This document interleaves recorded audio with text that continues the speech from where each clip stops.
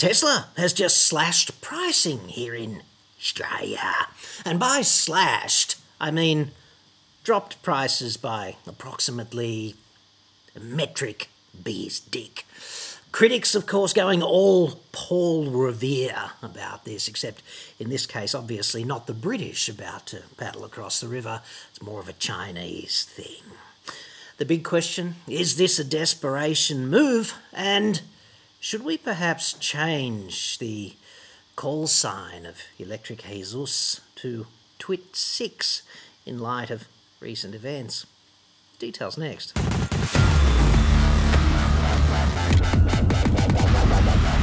I'm John Cadogan from AutoExpert.com.au and I get new cars.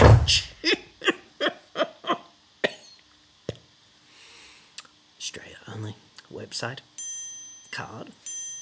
Now, taking the Model 3 base model Povo Pack Wichita as an example, pricing for Tesla has been a little bit bridesnighty. Everyone says it. Since that vehicle launched in whatever it was, July of 2019 or something. Now, just thinking about that car, the Povo Pack rear wheel drive Model 3, the pricing there kicked off at 66,000 bucks initially, and then it rose as high as 73,900 and fell back as low as 59,900 with lots of up and down noise in between. That's in the space of just three and a half years, right? Last week's price cuts saw prices fall to 63,900 considering the base model rear-wheel drive Povo pack, right? That's 2,100 bucks lower than it was at the launch three and a half years ago. Let us have a deep dive into the desperation scenario there next. This report is sponsored by NordVPN. Now, I'm not a hardcore IT guy, but I've heard enough, especially recently, about data breaches, scams, and hacks to know that being online can be inherently risky and costly. You don't have to be tech savvy to use NordVPN. It's a simple one stop cybersecurity solution. One click, and you are protected from hackers, malware, and pop ups across as many as six devices. NordVPN is the world's fastest VPN. I don't even notice it running in the background, frankly, and it only costs about as much as a cup of coffee to keep your data, your identity, and your devices secure every month. NordVPN can also save you money because you can assign your virtual location to another country where, for example, flights and accommodation might be cheaper than they are back at home. The same goes for streaming services, and you can access live sporting events and other content that may not be available where you actually live. It's a pretty small price to pay for cybersecurity. Not to mention the potential savings also on the table. Go to nordvpn.com slash AEJC to get a huge discount off your plan plus four months free. Totally risk-free with Nord's 30-day money-back guarantee. That's nordvpn.com slash AEJC. Link in the description. And thanks to Nord for sponsoring this episode. As you know, I am not above criticising some of the spooky slash kooky things said and done from time to time by the Messiah. I have this quaint, some would say old timey view that indefensible gibberish really does need to be called out for what it is if we want society to improve in the time domain, and I'm a person who really does want that. But I'd suggest that although the media is foaming at the mouth over these recent price cuts by Tesla, it's not a Paul Revere type scenario at all. It's really just another random movement in, in particular, Model 3 pricing, of which in three and a half years there have been nine movements, five increases and four drops. And they really have, at this point, roughly cancelled each other out, basically. And the Model Y is the same kind of story on a, admittedly, more compressed timeline, right? That vehicle was launched in June of 22 for 68,900. That's the base poverty rear-wheel drive variant. It had a 4.9% increase one week after the launch, which kind of screams we didn't sort out that very well. But then, roughly six months later, which would be last week, there was a 4.7% drop, which caused prices essentially to return to where they were when the vehicle was launched.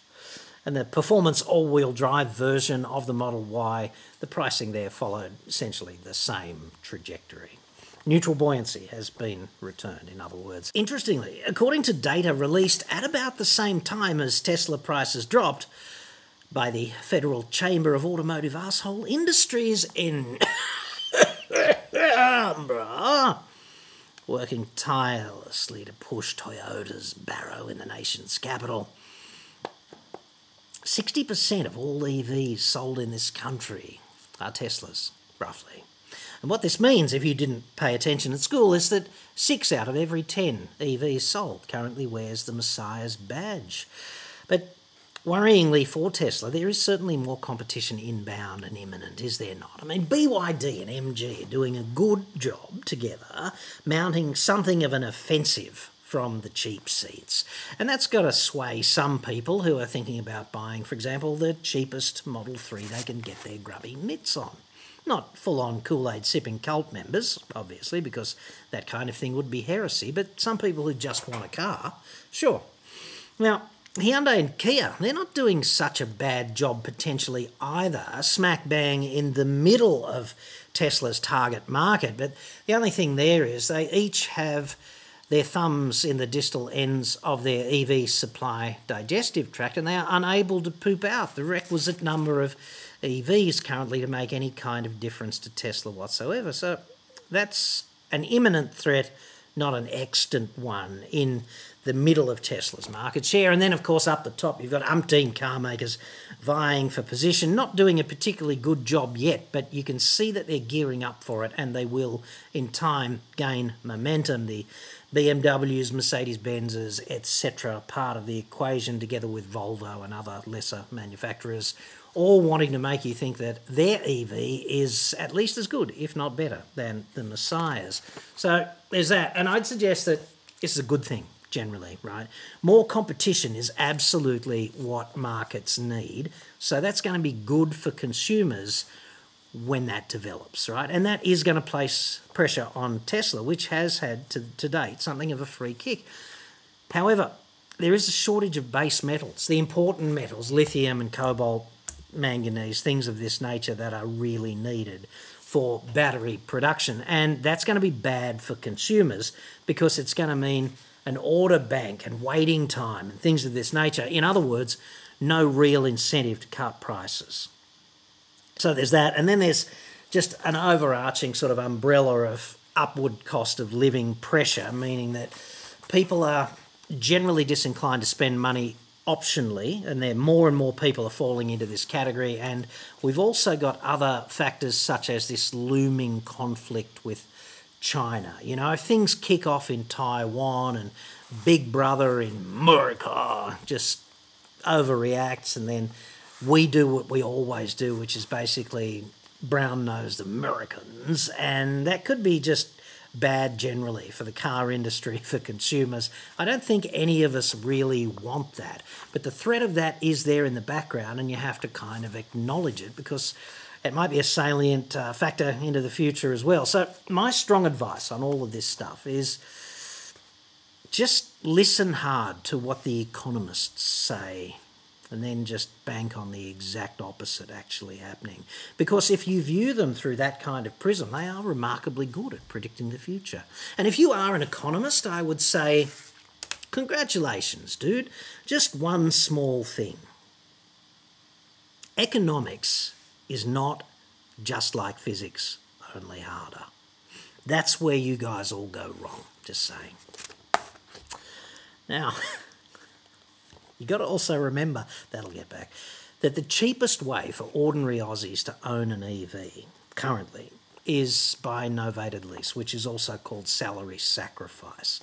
This is not the case if you are self employed, like if you're a sole trader or something, that kind of finance is not available to you. If you are a self funded retiree, as I understand it, that kind of finance is not available to you. But if you are a working class man as Jimmy Barnes would have said, then that kind of finance is absolutely on the table, provided your employer supports it.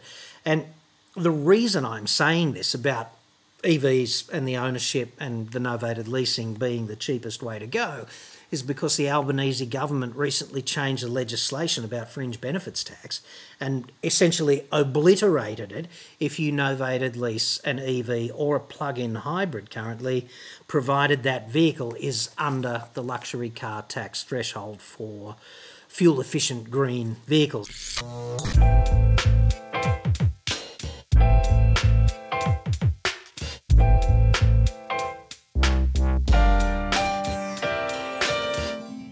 A novated lease is absolutely the cheapest and most tax effective way to own that vehicle if you are on a salary for most people. Obviously, there's a dimension of all finance that relies on a careful assessment of your own individual financial position, right? But the statements I'm making are general and accurate in that context.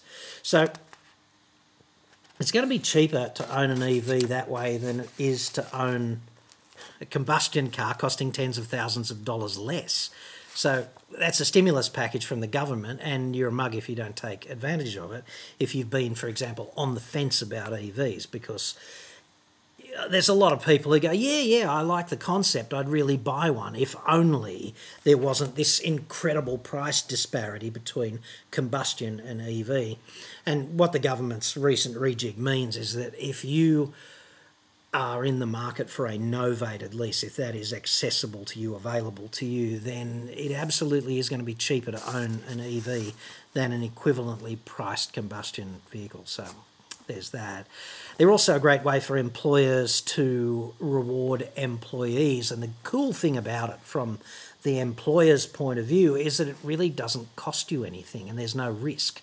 So it's pretty easy to set up. You just have to set up a payroll deduction and fill in the forms and blah, blah, blah. Bob's your mother's brother there. So that's kind of nice. If you want to know more about that, because this is the most relevant part of the EV ownership equation that has recently had the goalposts just go from here to way over there, then just click the link up there somewhere and I've got a whole blog post on that on the website. It'll give you more information. And if you are that employer who is kind of interested in offering that but doesn't know how to go about it, just go to that page and fill in the form. And I'll get my dudes to talk to your dudes, and hopefully we can make shit happen. So, in summary, I'd suggest that the recent Tesla price drop is not a nose jerk reaction to the imminent E bomb of uh, China coming out and upsetting the apple cart. But there is going to be more competition into the future that is potentially good for you if you're on the fence about an EV. And I am actually happy to see Tesla apparently price protecting people who they've locked in at a higher price who are waiting for these cars and making them available at that lower price.